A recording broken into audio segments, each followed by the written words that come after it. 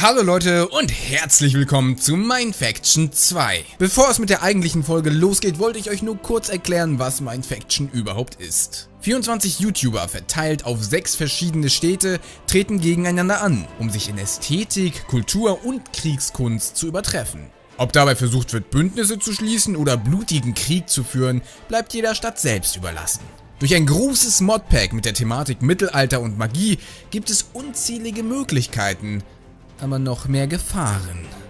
Gemeinsam mit Blocky, Kokielka und dem Veranstalter Better Not Games habe ich mich wohl für die schwierigste Stadt entschieden, Stadt Weiß.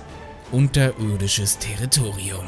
Monster sind also zu jeder Tageszeit anwesend und äh, dies werden wir auch schon bald zu spüren bekommen. Kurz noch zusammengefasst die wichtigsten Regeln.